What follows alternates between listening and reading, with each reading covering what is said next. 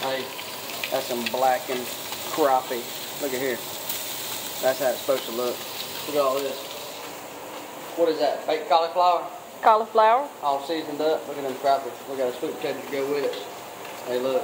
Yeah. And some blueberry wine. Huh? Blueberry wine.